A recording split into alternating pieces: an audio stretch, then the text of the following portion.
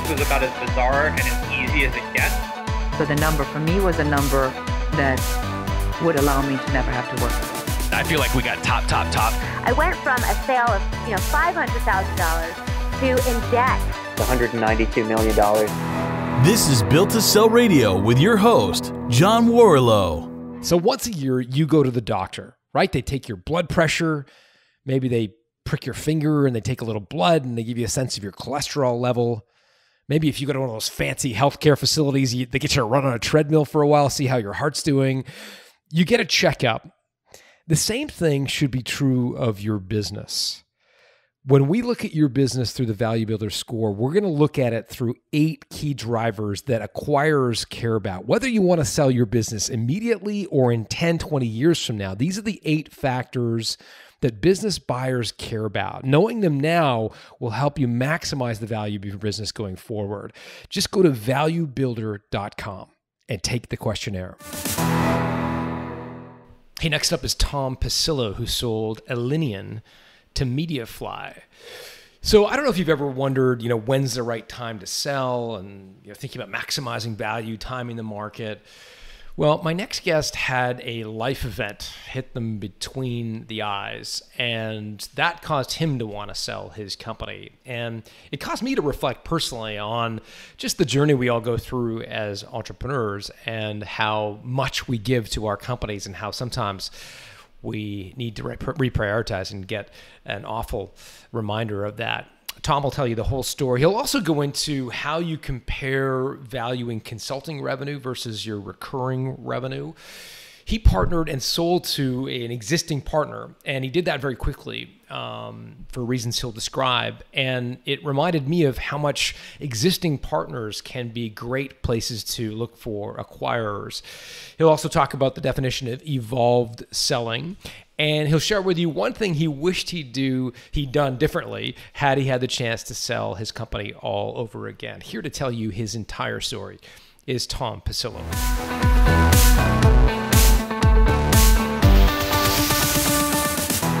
Tom Pisello. Welcome to Built to Sell Radio. Oh, thanks. Thank you for having me.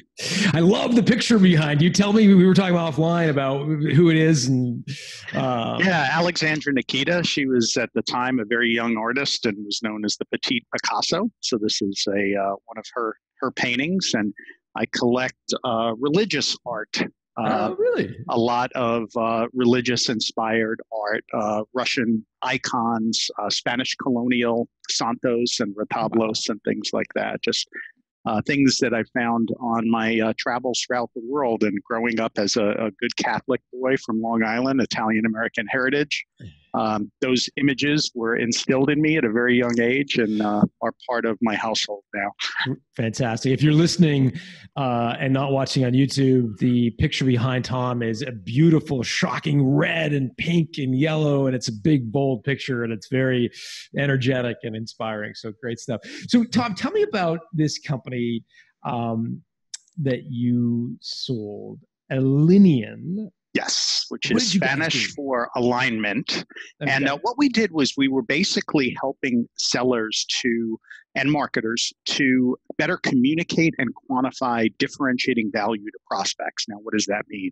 We developed in the beginning return on investment, total cost of ownership, diagnostic assessment tools that you could use with buyers interact with them, collect a little bit of data, and it would create the business case, the financial justification, the health check and diagnostics to motivate buyers to change and inspire them to purchase your solution because there's a high cost of do nothing and there's a good value of change. And and what was your business model? Who did you sell this tool to? yeah, we sold to? it to uh, marketers and uh, sales uh, leaders. Uh, there's groups within organizations now called value engineers, and it was mostly to B two B, business to business providers.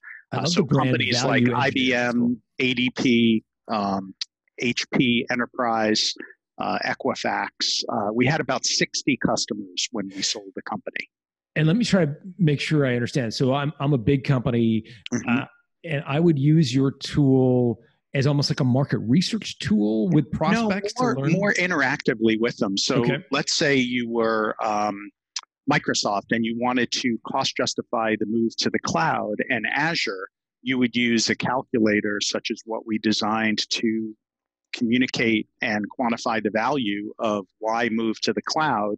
Uh, if you're Microsoft, same thing at Amazon. Uh, if you've got a new solution that's coming out or a new process improvement you want to implement and software that would help with that process improvement, like ADP, why should you outsource all of your human capital management, your HR, to a company like ADP, why outsource your payroll? It's going to cost more, right? Well, no. Once you tally up all the costs, it's actually less expensive. Nice. You save money and you're able to focus on the things you want.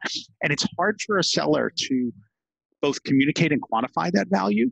So, hmm. with a couple of simple questions of the prospect, they put it in the tool, press a button, and it creates a presentation, a value story, and then with another press of a button, it creates, a sense a business case report that then they can pass around to the CFO, to the executives to cost justify, financially justify the solution in to the prospect. That's so cool. And so, what was the business model? You were licensing this these tools to big companies. Yeah, we would consult with these companies on well, what is your value proposition? How do you tell the story around it, and then how do you quantify it? So there's quite a bit of consulting on the front end. And then what we would do is we had a platform where we could embody that into this platform and a piece of software that then gets licensed as a service, and then we would license that for website use, uh, self service off of the web for customers, and then also license it to sellers. How did you convince people to buy the software? Because there's part of me that says, okay, Tom, I'll buy your consulting for mm-hmm. sure. but haven't I already kind of paid for you already when I paid for your consulting? Like, like, how did you sell them the software and the consulting? I guess. Yeah, we were in the end. In fact, we were doing it almost all as a service, so it would be just an annual recurring service, and we'd have follow-on. Um, we'd keep the tool up to date. We'd have ongoing services to help them to make sure everything stayed relevant in terms of the story and the metrics. So that was part of the way we convinced it. And the other way we convinced them to buy, just in general, was we ate our own dog food. So we would have business case tools for our own software to cost justify our solutions into to their organization and prove that by paying us a monthly, uh, I mean, a quarterly fee, um, and amortizing the consulting over that life cycle and just signing up as a license, it would be cheaper and better to do that with us.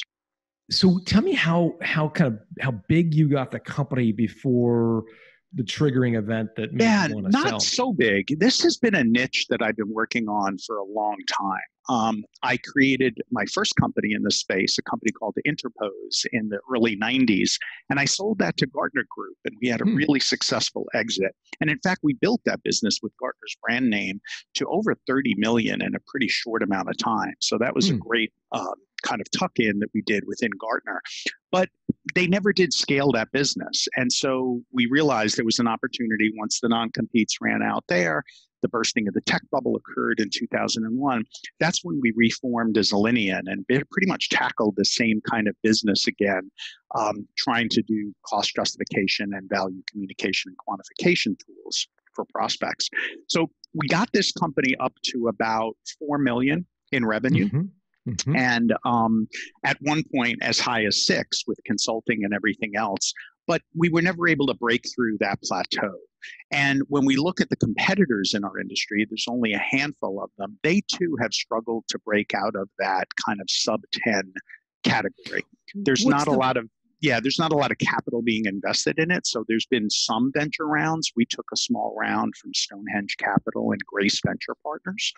Um, mm-hmm and that was just a Series A, and no one else has gone beyond Series A or friends and family funding in our space. So part of it is the money is not there, uh, and it's hard to convince companies that this or investors that this is a big enough uh, market opportunity yet uh, for more institutional investing. Mm, it always sat behind other sales initiatives and other marketing initiatives, and that's been part of the challenge. So what we realized was we were definitely growing, but we were behind sales enablement as the next big thing. So when you think in terms of enabling sellers, CRM was big. That was amazing. Then we had marketing automation. So companies like Eloqua, Marketo, Pardot, those guys had their run. A lot of money came into that market. They grew those uh, lead nurturing systems, marketing automation platforms big. Pardot is now part of Salesforce. Marketo went public and got bought.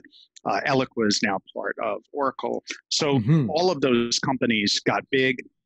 They went public. They got acquired by the big boys. Then the next wave now is sales enablement, and we're about to see our uh, probably the first company in the space go public here within you know, depending on the markets, which are not that great right now for IPOs, you know, six months, maybe a year to public. And there's a lot of money being placed, a lot of bets being placed. We always, in this value selling, value marketing kind of space, sat way behind that. Hmm. And so there really was not enough um, critical mass in terms of customers, critical mass in terms of financing. And it was a few of us industry leaders and innovators that were working with other innovative companies, these early adopters, to kind of implement this, but it has not institutionalized. So what we figured was why not instead cast our lot with one of these sales enablement companies that already was at a series B, ready to raise a series C, and be part of something bigger. And that was one of the big motivations for me was how do i personally become not just another niche play that i sell for a little bit but how do i tag along with something that can become much much bigger perhaps a public exit or an exit to a major player uh, in the crm space. Why was that important to you personally yeah, I'm. Uh, you know, my new title is chief evangelist, and hmm. that kind of goes goes along with the religious art and everything. But I, I, love to be on a big stage. I was a musician when I was younger. I played in wedding bands on Long Island. I was on. I had a radio show on Long Island. Um, during uh, my high school days. And so I always like to perform as part of um, what I do, even though I went to school for engineering, electrical engineering, um, hmm. I still love to be out in front of people. I love to uh, spread a quote unquote religion around um, you know sales enablement and around value selling. I have different methodologies that I've created that I want to have a bigger audience and a bigger influence on. So that's always been a big motivator for me is how do I influence and create a market. And this was a way to get some of the tools and the resources and great minds along with me to help to do that in a much, much bigger way. So, where does it go from there? You realize you want to play on a bigger kind of stage. Was there a trigger that that yeah so yeah. so the positive was that so the negative was is we were in a little bit of a niche space and it was mm-hmm. really struggling to grow out of that niche the positive was that we're adjacent to this really uh, incredible space that's highly competitive and the companies that are in that space are looking to differentiate and desperate for differentiation. They're all knife fight in a phone booth kind of deals that they're going through.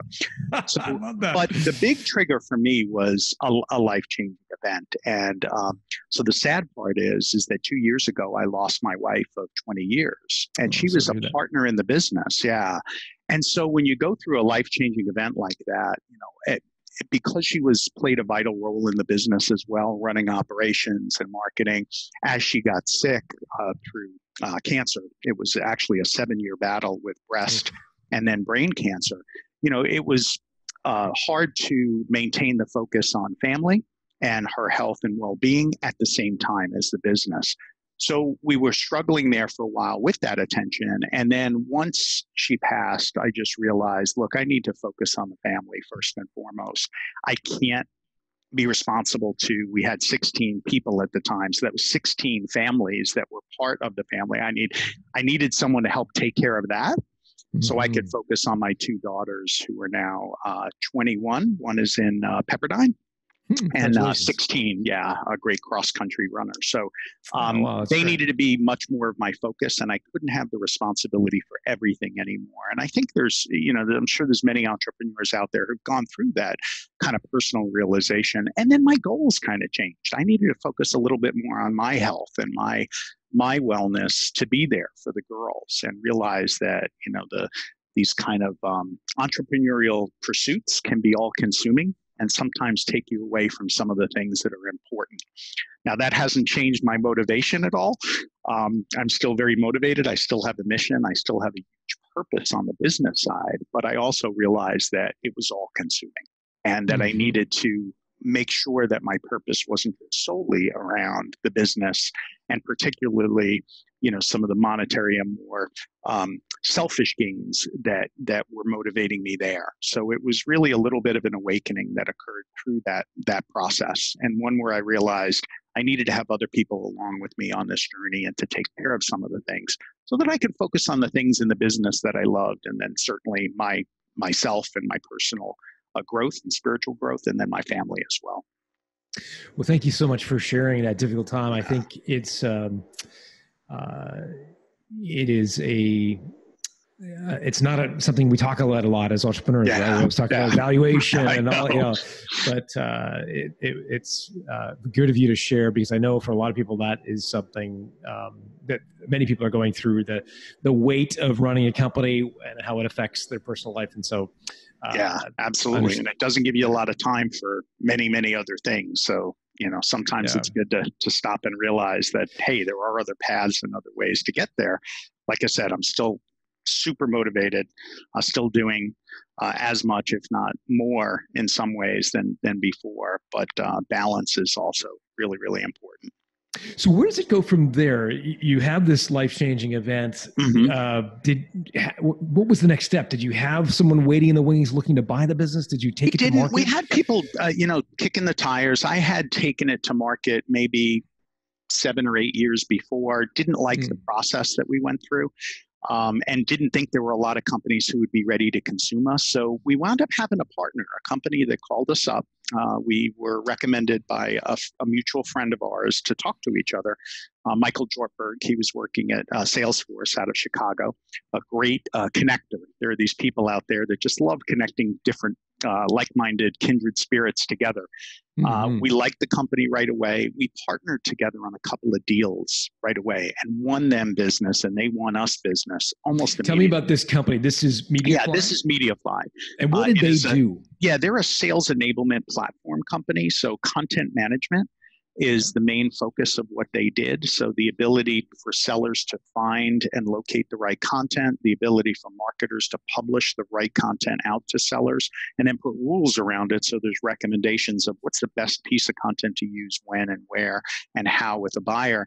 And then they had this extra piece, which was how do we change the engagement, that last mile, that moment of truth when we're sitting in front of a customer, to not use PowerPoint, but to use something more rich and dynamic, like an hmm. interactive application. And then that's where we come in because we're another sure. interactive application that can fit in there. So we did a project for one of their customers called Sealed Air, and it was a cost justification tool that would have taken them months and months of custom programming, be too expensive for the customer to buy at scale and we were able to implement it in a week what took them hmm. months. Um, and then we were able to get another deal and another deal together. And it was just it was fun working with them. I saw that i could have a really good um, stage presence and they didn't have someone like me on the organization. Uh, and we were just a fit. So it really wasn't that we were seeking an acquisition then although i had bought my investors out and wanted to make sure that i had kind of a, was moving towards an exit. I wasn't really pursuing it in earnest, and it kind of just kind of came to us. Um, so, who raised the specter of an acquisition? Because you're you're going with MediaFly, you're going into kind of these pitches. Uh, MediaFly is using you as their sort of killer app to to, yeah, to yeah, in, a, in, a, Coke Pepsi kind of battle. Mm-hmm. Uh, who who sort of who who made the first move? They did, yeah, which I always like to do. I mean, they kind of knew that I would be considering it, especially because of the life events that had occurred, uh, mm-hmm. which had only occurred a year prior to us partnering. Uh, so um, Carson, the CEO, um, they had never done an acquisition before. Uh, he said, "Would you be open to pursuing this? I don't know if I can get it through the board or not. Uh, let's make a run at it." And I'm like, "Yeah, we love working with you guys, which was my biggest criteria in it. Um, let's see if we can work something out." And we were able to do that. So does Carson comes to you with an offer of some sort? Was that the um, first He step? came with a framework. Yeah, a framework of an offer. It wasn't uh, every I dotted, T crossed in terms of all the terms, but it was close enough. Uh, we took that to the board, got some temperature uh, of them. I didn't to have a clear, board at the time. I was, I was going to say you yeah. took it to the media yeah, board. took it to their board. Yeah, I had bought my board out and kind of took it all private ahead of uh, the life changing events that I went through. Um, okay. It was just appropriate because the business wasn't growing through that period. And so you're you're you're you're four million in revenue. Mm-hmm. Um, What was the split between, uh, if you can share, uh, sort of consulting versus recurring or licensing fees uh, on the floor? Yeah, it was more consulting than licensing fees. It was about 40 licensing, 60 consulting. Okay. And so did you have a sense of what you thought it was worth? Yeah. In, yeah. And it came out to be just about that. And um, how did you arrive at that at that valuation? I think people I, I, know we can't talk about the exact number. Yeah, there's there's multiples out there in terms of, you know, what is consulting revenue worth, uh, what is um, annual recurring revenue worth. And the multiples were along the lines of those typical uh, multiples. Um, and were you? Ex- if you're a smaller you... company, it's discounted more. If you're a larger company, it's you know it's um, and and uh, growth plays into that. So those are the two other kind of mitigating factors that I encourage entrepreneurs to consider. Uh, you know, if you're a smaller company but you're rapidly growing, that's worth more. But you're a smaller company, and when you're looking at a valuation compared to a larger company, there's uh, kind of a collateral discount that occurs on the other end of that. Uh, if you're not growing, you know, then there's discounts that occur there. If you're growing quickly, then there's multiples that, that kick in. So those were some of the parameters that we were kind of playing with as we came up with the valuation.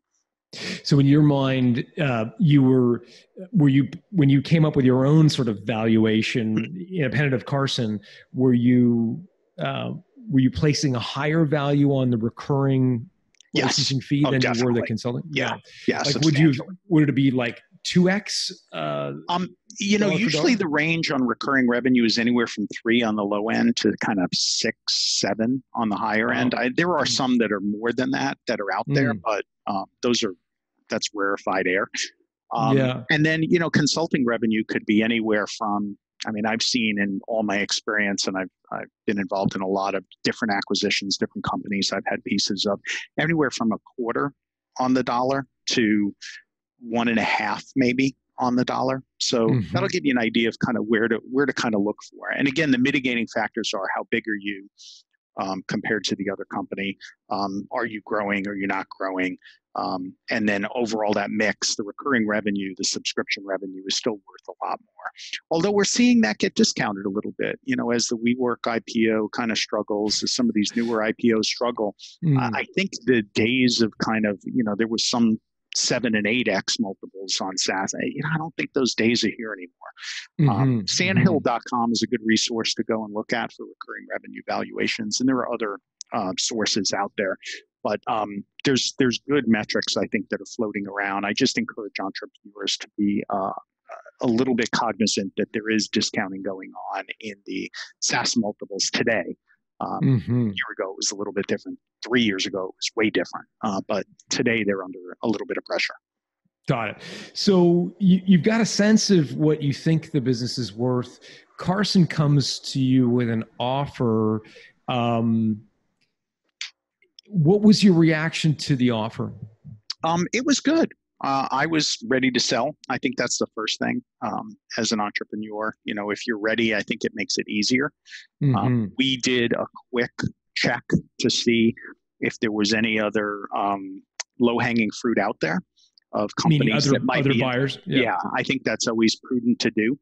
Um, if I didn't have some of the life motivation that I had, I might have even run a process, at least a mm-hmm. quick one formally at that time. Mm-hmm. Uh, mm-hmm. But we had put some feelers out on terms of different strategies. At the time, it was either raise our own Series B and go big, um, you know, find a partner like Carson to partner with within a um, kind of a, almost an acquisition hire type uh, acquisition that we did where we can fold in and we can then be uh, participating in the growth of that company um, or kind of get um, kind of a strategic buyout from another company and there just weren't that many strategic buyers in our space you know again it's mm-hmm. it, it was rather it's not a well defined space. We were pioneers in it with maybe one or two other companies, and there just wasn't a lot of out of the gate interest. I think it's something that had to be nurtured almost like what we did with Carson and his team and proven so that the risk was off the table. How did you, how did, how did he sort of de-risk the deal from his end? I'm assuming there was some sort of earnout or mm-hmm. structure. Mm-hmm. And that is exactly how he did it. Yeah, it it was very much on the earnout side to make sure that we still contributed to the growth. And on the other side too, we were pretty interested in that as well. You know, some money was definitely taken off the table, but a lot of it was, you know, we believed in that organization and we knew what we could contribute uh, I knew what I could do from a bigger stage. Um, my team knew what we could do if we had some more resources. So we weren't afraid to let it ride. And we also had more money uh, to play with, more investors and uh, professional private equity firm instead of a, a, venture capital firm to back being, the organization, being with media. Being media, media exactly. Yeah. Can you give us a sense of, and again, if you can, I understand, but can you give us a sense um, what proportion of the deal was sort of at risk versus kind of what you got up front? Yeah. Um, all about that? At broad strokes, even. Yeah, about 40, 60. Uh, 40 okay. kind of upfront, 60 kind of earn out back end. And how did you, how did you get comfortable, uh, with that mm-hmm. obviously you've done a couple of deals with mediafly so you knew them. Yeah but was there any other due diligence that you did to make sure that that earnout piece was was going to happen? Yeah um first of all you never know um mm. right? So uh, diligence we definitely looked at the deals they had the customers they had. We were involved in co-selling right along with them. That was good. Um, i think with it, with any organization that you partner with there's always um, I wouldn't say surprises, but things that you find out afterwards on both ends that you just have to manage. So you just have to make sure you're aware of that.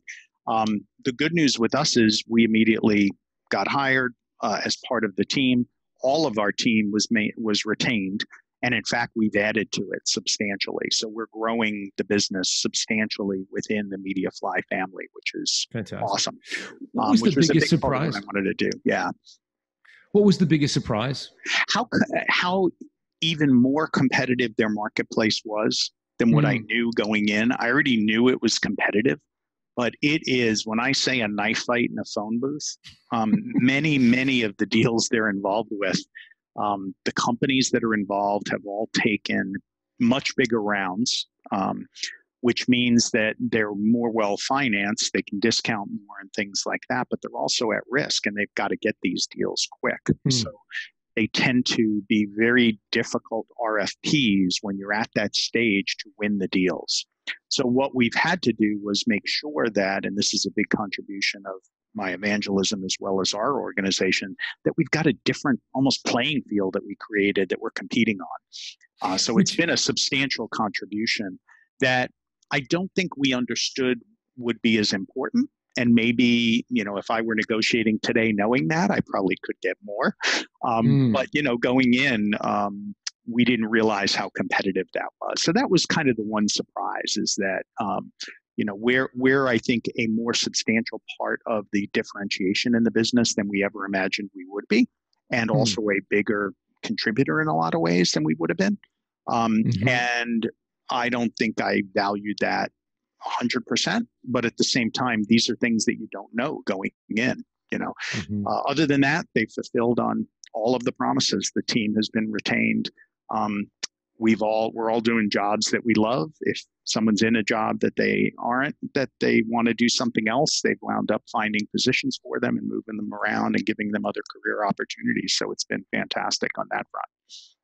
It's great. I'm glad you brought up um, sort of the point of differentiation and the platform and and your evangelism uh, because part of that is the book. Um, yeah. Can you talk a little bit about the book and and always have a show the book? there it is. Yeah, um, it's called Evolved Selling. It is. Um, tell you know tell me about it and what it what it's all about. Yeah, so it's the methodology that uh, Carson had put a name to and that we combined our methods on. And it is a way to enable sellers to sell better, to move from the kind of traditional ways of pitching a product with a PowerPoint deck and paper based collateral to now, how do you digitally transform that and take the seller on a journey to make them more evolved to sell with purpose and with value instead of just pitching? So, from pitch to purpose is kind of what the book is about. And it's a journey and a roadmap that we created. It's a method that goes across four different men- uh,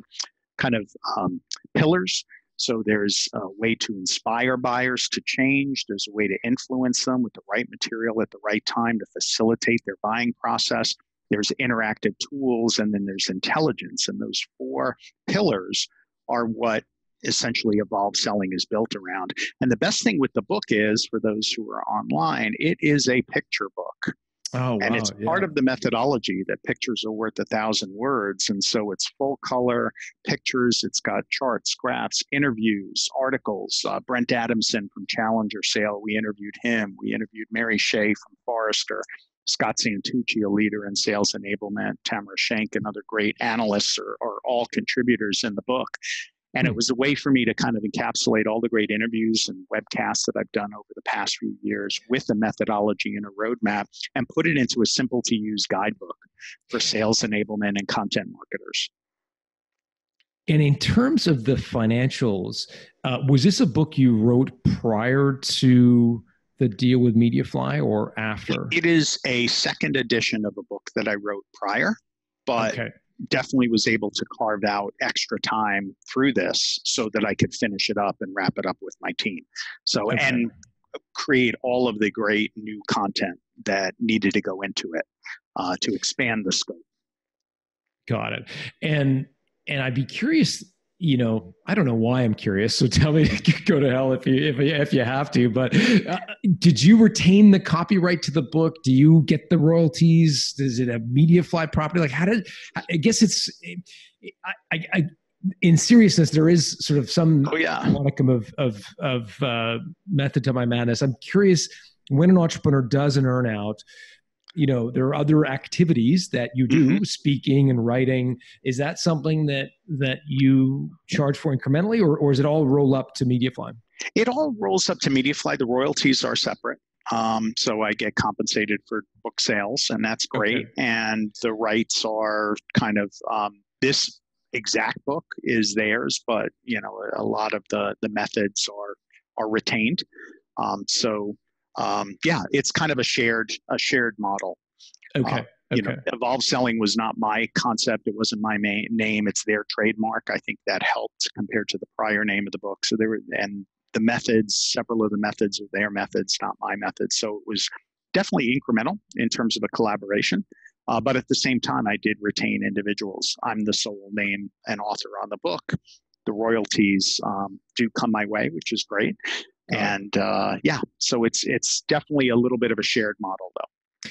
Yeah, and I, there, again, the reason I ask is I, I, think a lot of entrepreneurs are so used to having their their fingers in a lot of pies. Mm-hmm. Uh, they sell, and the question then becomes, well, hold on a second. Is 100% of your effort did being put into the, yeah, yeah, what did you sell? Yeah, exactly. did you sell? exactly. And a lot of us, just, yeah. you know, and that's, that's a really good point because a lot of us now have personal brands, right? And when we sell, um, did you sell that personal brand or didn't you? And it's important to try to rein, uh, you know, maybe retain some of that. With me, I'm often called the ROI guy. That's kind of my moniker and my online pers- uh, persona. Um, mm. That's retained. Uh, so there were certain websites, certain things that were retained. Uh, but you've got to be careful there because you don't want it to seem to the other company like, oh, well, he's just going to be here for a year and he's got all this stuff and he's just going to bail out and go and do that. And so you have to make sure that you're um, you're not uh, negotiating it to the point where you're not committed. I mean, either you're in these kind of earnout deals, you either commit 100% or you don't, would be my advice to the entrepreneur. And you can't have a foot in both camps. Doesn't mean you can't still be building a little bit of personal brand and working on you know certain things and certain creativity outlets that you have but at the same time i think the more you can figure out how to dedicate to it and then once you're done you're done and then you can move on to that next thing that's that's yeah. good so the book is called Evolved Selling. Uh, available, I'm assuming anywhere you buy books. Amazon's yep. Amazon, the best place. Yeah, Amazon is the best place to do it. Yeah. Uh, in fact, we self-published it via Amazon. It was the only way oh, we okay, could get the actually the production quality that we wanted in four color, vibrant the way it is, is all on demand printing and publishing via Amazon through the Kindle KDP program, which I'm oh, a huge fan of. This is my second book there. And then we just recorded and wrapped up um, the audiobook version of it, which will be on audible.com. Doesn't help with all the pictures, but it's still uh, a good listen. And uh, that'll be available here within a, a week or two. Fantastic. Um, Tom, I know people are going to want to reach out. What's the best way? Are you a Twitter guy? Are you a LinkedIn guy? What's the best way to, for people that are going to Yeah, Thomas Pisello on LinkedIn or T Pisello on uh, Twitter. So absolutely. And I publish often on those channels. So subscribe or sign up or send me an invite, and I'd love to chat. Well, it was great to meet you, and thank you for doing this. Uh, I'll yeah. be picking up the book, and appreciate you taking the time. Yeah, good to meet you too. Thank you.